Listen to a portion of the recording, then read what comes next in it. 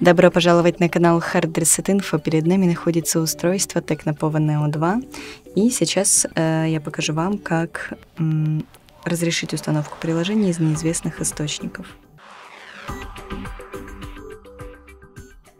Итак, открываем настройки, далее проходим в раздел управления приложениями, выбираем здесь, угу, не сюда, э, заходим в в раздел «Конфиденциальность», и здесь выбираем специальные разрешения. И здесь уже выбираем установку неизвестных приложений. И выбираем источник, которому разрешим установку.